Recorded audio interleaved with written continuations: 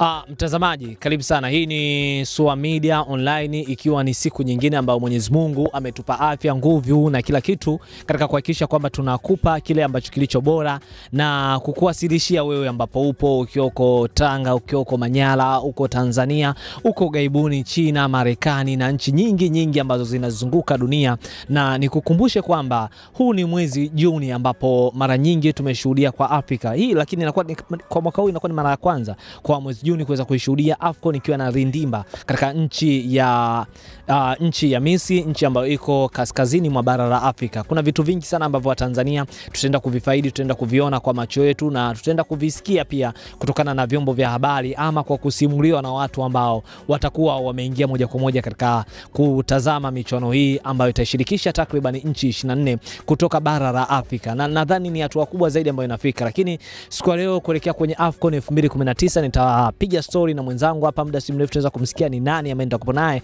na ana vitu vingi sana ambavyo atakupa. Ah, bwana unaitwa nani? Uh, kwa majina naitwa Idos the man himself since 1999 au uh, unaweza ukanitambua kwa jina la Idris. Uh, Ido himself uh, ime, ime, ime, ime, ime, imekuwa ni miaka mingi sana tujapata nafasi ya kuweza kushiriki kwenye michuano ya AFCON na kumbuka kwamba tumekuwa na gap kubwa zaidi. Uh, tunazungumzia habari ya miaka 30 na kitu ambayo imekatika, na nini ambayo imesababisha hili gap kuwa kubwa zaidi?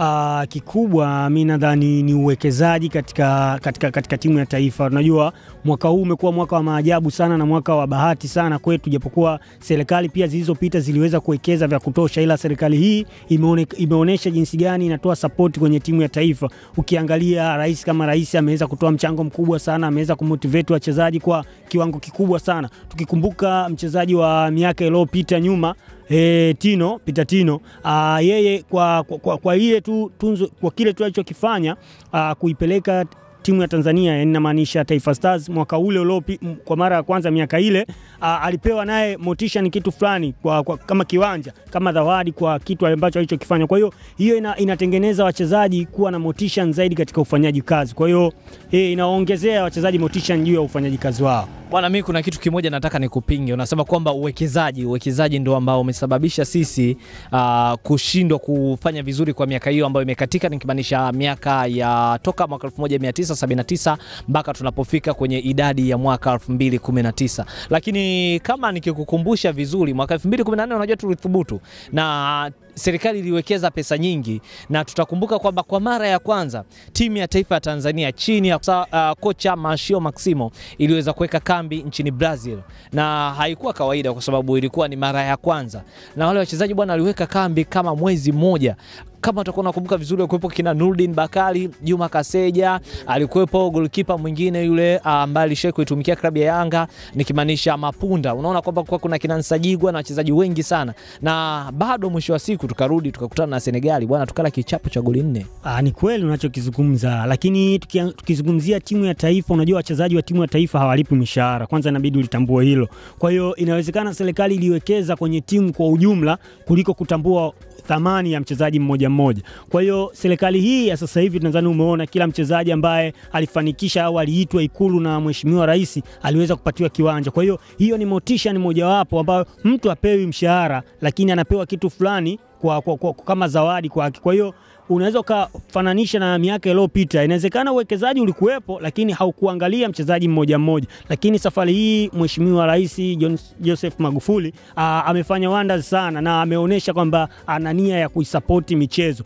Uh, tukichukulia mfano kama Serengeti wa wa Rais Magufuli of course amefanya kitu wonders sana kwa baada ya kutoa bilioni moja kwa ajili ya timu ya vijana chini ya umri ya miaka 17 nikimaanisha Serengeti Boys, japokuwa haikuwa bahati kwao. Uh, wali wa- walitoka mapema mno kwa kufungwa kila mechi zote. Kwa hiyo hii inaonyesha ni jinsi gani taifa kwa sasa linaweza kuangalia michezo kama nafasi fulani, especially serikali iliyopo. Kwa hiyo ina, inaonyesha jinsi gani kwamba nguvu ya serikali inaweza kufanya kazi, na nimezungumzia tayari mambo ya viwanja, wachezaji wamepewa viwanja. Uh, mchezaji wa zamani kabisa ambaye alishasaulika hata katika katikati hapa ya miaka miwili mitatu iliyopita hakuweza kujulikana, lakini leo hii mchezaji yule ameweza kuitwa na ameweza kuitwa na Mheshimiwa Rais Ikulu, aliitwa na akapewa tunzo. Kwa hiyo hiyo inaonyesha jinsi gani kwamba tunawathamini. Tuna kwa hiyo hata yule mchezaji ambaye anaenda kushiriki hayo mashindano anakuwa anacheza kwa kujitolea kwa moyo wote, baada ya kuamini kwamba ipo siku na yeye atakumbukwa siku moja na taifa hili.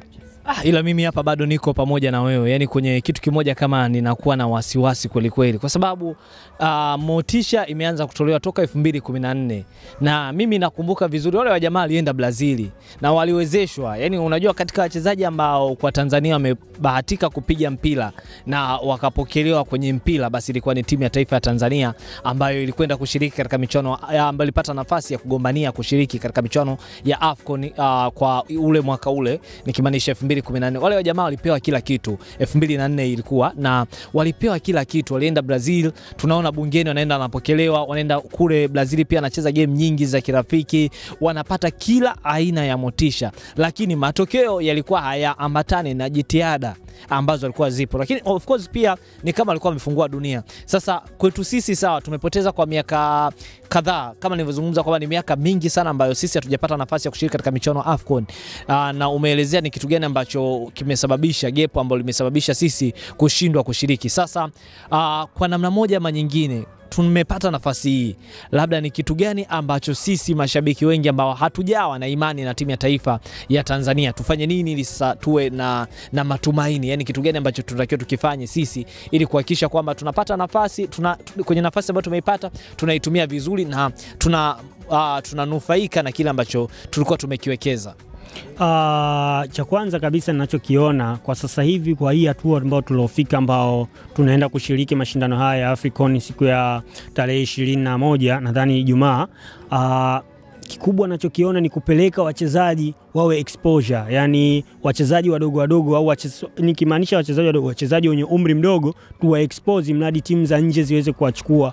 Mfano wa mdogo tumempeleka mtu kama Rashid Mandawa ambaye tuna umri wake ni bado mdogo. Kwa hiyo tunavyompeleka kule, tuna tunachokitaka kwamba tumuuze yule mchezaji apate title, aende nje apate experience kama aliyokuwa nayo baadhi ya wachezaji, mfano kama Bwana Ali Samata ambaye sasa hivi nchini nchini, nchini Europe kule nikimaanisha nchi za bara la Ulaya of course, uh, wanakuwa wanamthamini sana na mpaka anapanda thamani. Kwa hiyo hiyo yote tunawatengeneza wachezaji wetu wawatoke nje, imradi wakashaini wa, wa, wa, baada ya miaka kadhaa wakisharudi, tutakuwa na timu moja bora sana. Sifikirii kama kwa muda huu tuna tunafikiria tuna, tuna, tuna sana sana kuchukua kombe, sijalifikiria hilo, ila mawazo yangu juu ya timu ya taifa kwa AFCON hii ni kwenda kupata experience na kuonesha kwamba sisi Tanzania tuna watu fulani wa kufanya kazi. Unazungumzia kwa habari ya kwenda kupata experience, wakati sisi tumetengeneza timu ili iweze kuleta ushindani na tufike kwenye hatua kubwa zaidi. Wewe udhani kwamba tukisema kwamba tunaingia kwenye experience, kutafuta experience katika michuano hii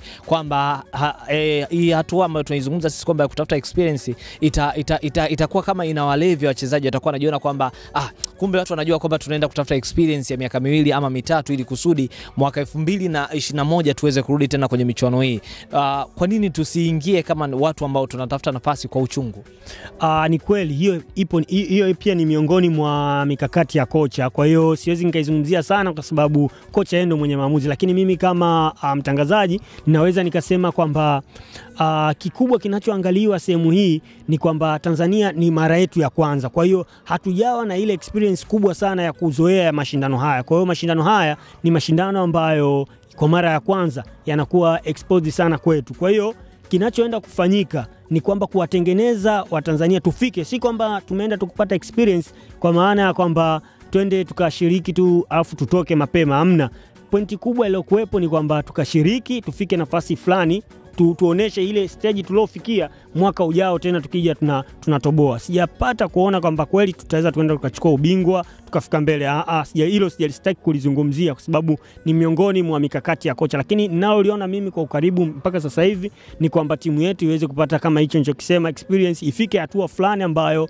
kesho na kesho kutwa tukija tunavunja ile rekodi ambayo tuliofika. Yes, kama unaitazama kupitia YouTube, hii ni Sua Media Online na unaweza ukasubscribe ama ukabonyeza pale kwenye button nyekundu, na kisha ukishabonyeza button hiyo nyekundu, moja kwa moja utakuwa umesubscribe, na ili kuwa wa kwanza kupata hizi notification na vitu vingine vingi, basi hakikisha kwamba unabonyeza pale kwenye kengele wenyewe naita bell. Ukishaibonyeza ile kengele, basi itakuwa inakupa notification na kuweza kujua vitu vingi sana ambavyo sisi SUA Media tunakupa. E bwana, leo bado tunaangalia kuhusiana na AFCON 2019 lakini tulikuwa tunaangalia na nafasi ya timu ya taifa ya Tanzania kuelekea kwenye michuano hii. Tayari siku zimebaki chache kweli kweli, ah, kipute kiweze kuanza kuwaka kule katika nchi ya Misri, na ninaona joto linazidi kupanda kwa Watanzania, lakini joto linazidi kupanda kwa wenyeji Misri, joto linapanda kwa Senegal. Kila taifa limekuwa la moto kweli kweli. Uganda tayari wamekwisha ita kikosi chao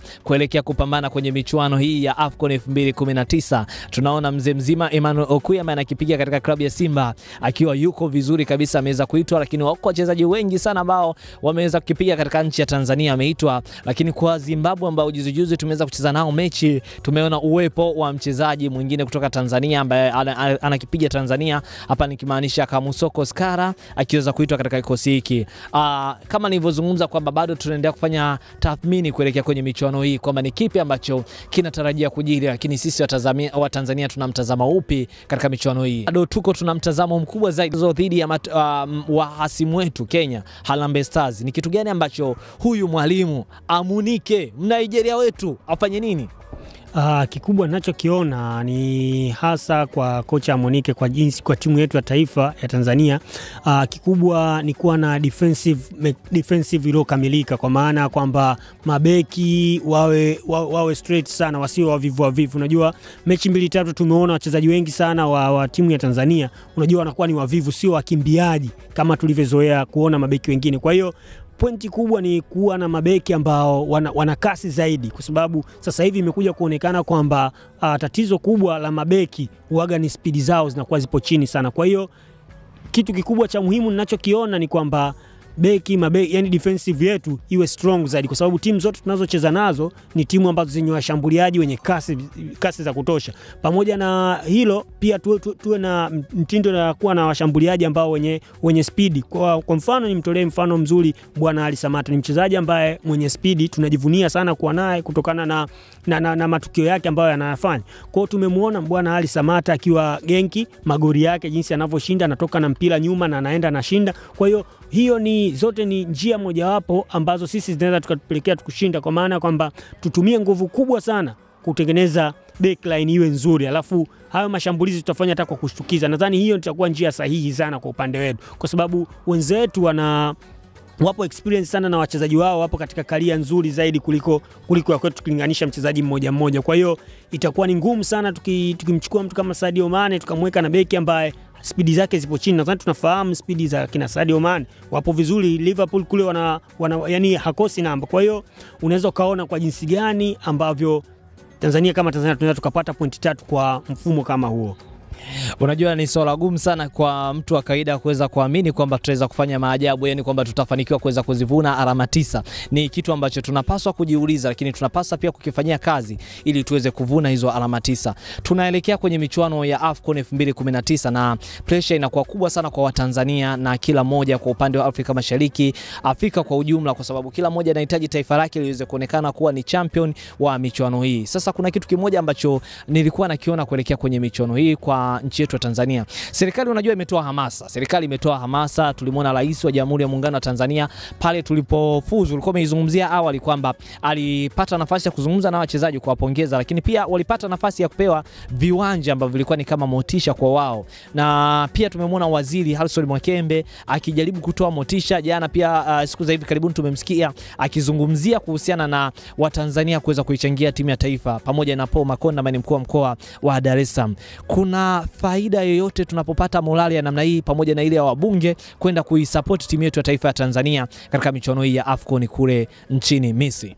Uh, faida ipo ya kupata morali kwa sababu mpira wa miguu kama nilivyosema, especially katika timu ya taifa uh, wachezaji huaga hawalipwi. Kwa hiyo kinachomfanya mchezaji acheze kwa kujituma zaidi ni ku- kuangalia uthamini wa kule anapotoka. Je, nchi yangu inanithamini kiasi gani? Kwa hiyo akishajua mchezaji uh, nchi yangu au taifa langu linanithamini kwa kiasi gani, itampelekea yeye acheze kwa nguvu zake zote kwa kuonesha kwamba nimetumwa nimetumwa nije kufanya kazi. Kwa hiyo jitihada zitakuwa kubwa zaidi, tofauti na mchezaji ambaye hana morali, yani anacheza tu kwanza kwa sababu nimeitwa nicheze timu ya taifa, kwao nacheza. Kwa hiyo ukiangalia mcheza, unakuta baadhi ya wachezaji wengi sana Afrika jinsi walivyo, kwa maana ya kwamba wapo radhi wakachezea timu zao za kulipwa za nje ah, kuliko waumie katika timu ya taifa. Naona nikiumia kwenye timu ya taifa silipwi kwa hiyo nitapoteza value yangu tu bure. Endapo nikiumia kwenye timu ya timu timu pengine ya klabu huku mshahara, lakini bado utaendelea ku, kuingia kwangu. Kwa hiyo ki- kikubwa ambacho walichokifanya mola, morali ni kila kitu, naweza nikasema hivyo. Wa- Waheshimiwa wabunge kuweza kuwathamini inamaanisha jina langu litaendelea kukumbukwa miaka na miaka bungeni na sehemu nyingine zote, kutokana na ile thamani ya, ya mimi kutambulika na bunge. Kwa hiyo hiyo naweza nikasema ni morali, ni kila kitu katika mchezo wa mpira wa miguu. Sawa, msikilizaji na mtazamaji ambaye unatufuatilia vizuri kabisa kupitia online TV moja kwa moja, tukiwa kwenye mjadala huu mkubwa zaidi kuhusiana na AFCON 2019, lakini wakati umetukimbia kwelikweli. Hapa nikitazama dakika naona zimesalia dakika chache sana, tuelekee ukingoni kabisa. Labda ni vitu gani vitatu ambavyo unaweza ukamwambia shabiki Mtanzania ambaye yuko nyumbani na yuko sehemu nyingine, yuko na hamasa kubwa sana ya kuweza kuifuatia timu ya taifa? Aa, kikubwa tia imani juu yetu, tia imani juu ya Taifa Stars. Taifa Stars ipo juu uh, na kauli mbiu ya sasa hivi ipo juu, so juu tu, ipo juu kileleni kabisa. Ni zamu yetu. Ni zamu yetu pia ya. Kwa hiyo atie imani na nguvu ngu, na dua. Unajua dua ndio kila kitu eh? Kila hatua dua bana. Kwa hiyo uh, tunachoenda kukifanya right this time ni kwamba kuiombea Taifa Stars tuweze kufika hatua ambazo hatukuwahi kufika, wala wengi tutaishangaza dunia. Hiko ndicho ambacho mi nakiangalia sana sana sana, especially kuuza wachezaji wetu, tuwa, wachezaji wetu tuwauze katika watoke ndani ya Tanzania waende kucheza mpira ya nje. Kwa hiyo eh, niseme kwamba Mtanzania tupe imani Tanzania, Taifa Stars ni zamu yetu safari hii. Hivi kina Babu Kanjenje, kina Babu Kanani, wale kamati ya ufundi, hivi tukiwapa nafasi wanaweza kafanya maajabu? Uh, mpira miguu ni jitihada za mule ndani, naweza nikasema hivyo, ni jitihada za mule ndani, kwa sababu nikizungumzia hayo mambo ya basi, tunge wenzetu wale wa nje ambao tunaamini kwamba wanatumia sana sayansi ya kawaida, wakija huko tungekuwa tuna tuna tunawapiga nyingi, Ambao wamekuja na gold technology. na ndio ambao wamekuja na gold technology. Kwa hiyo hata wakija hawa kina babu nani unao wasema wewe mi sizani kama watafika sehemu, sifikirii, sifikirii kwa hao. Mi nafikiria zaidi juu ya mpira unaochezwa ndani uwanjani. Kwa hiyo kina Babu Kanjenje hawana nafasi ya kutupa matokeo, na tumewaamini sana kwa Afrika kiukweli. Ukiendaga kule kwenye, kwenye michuano kama hii ya AFCON hususan ambayo inafanyika kwenye ukanda wa magharibi, lakini kwa safari kwa sababu inafanyika kaskazini, tulikuwa tunaona, ukiona Nigeria wenzetu wanaingia, unakuta watu wamevaa mpaka hauwaelewi, unasema huyu mzee vipi, mbona katokea akapiga eh, dude ambalo alileweki, sisi tulionaga tu kwenye misiba, lakini yeye yuko nalo uwanjani. na kikubwa kikubwa kikubwa naweza nikasema wanaweza wakachangia kwa design hii hapa ambayo mimi naifahamu, kutia morali na hamasa, waingie uwanjani washangilie, wahamasishe wa, wa, wa wachezaji wahamasishe wachezaji wahamasishe raia wote tu tukashiriki pamoja kwenda kuishangilia timu yetu ya taifa ya Taifa Stars. Kwa maana hiyo tukifanikiwa kwa hivyo basi tutaweza tutaweza uh, ku- ku- kushinda au tukafikia nafasi yoyote ambayo hatukufikiria kufika, lakini kwa mipango ya kocha anaweza akatupeleka kule ambapo si tunawishi kufika.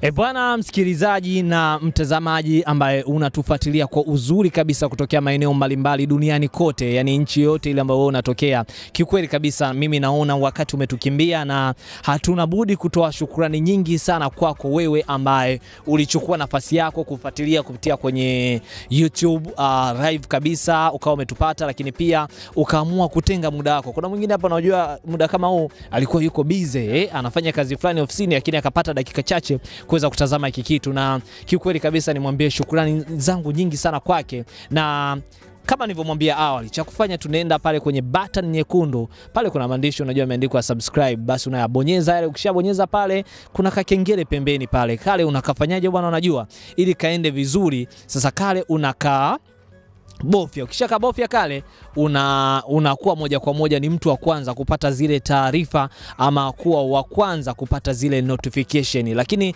uh, ulikuwa nami mimi, naitwa Ayubu Mwigune. Criteria jezi nambari kumi imeandikwa huko nyuma ya kitu ambacho nimekivaa, lakini nilikuwa na mgeni wangu. Idol the man himself since 1999. Endelea kubaki hapa hapa, kilimo ni hazina.